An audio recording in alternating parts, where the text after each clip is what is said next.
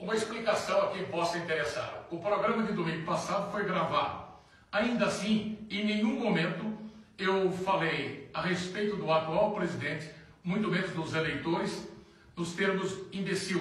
Até porque, quando eu usei a palavra, eu usei para explicar que muitas vezes o político imbecil, que não está preparado para ser eleito, nem sabe por que está lá, ele acaba entrando nessa onda da vaidade e esquece dos problemas do país.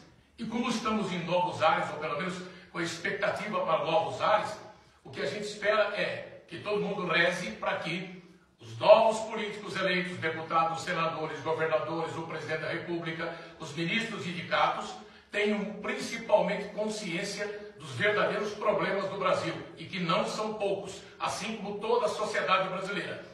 Esse foi o contexto, esse foi o objetivo do que falei. Jamais falando especificamente de uma pessoa ou dos eleitores dessa pessoa. Até porque, quando houve o resultado, o que eu falei foi: ao eleito, democracia é isso, ele tem que se preocupar em governar para todo mundo.